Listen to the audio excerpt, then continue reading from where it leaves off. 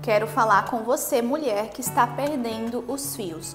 Vocês sabiam que existem diversos tipos de alopécias, de quedas de cabelo, e algumas delas, o fio que cai, ele não nasce mais? Por isso, a importância do quanto antes qualquer sinal de queda procurar um profissional um médico especialista em tricologia para fazer o seu diagnóstico e o tratamento. Aqui na clínica nós temos as melhores tecnologias por inteligência artificial para fazer o diagnóstico, quantificar a sua queda e realizar os melhores tratamentos.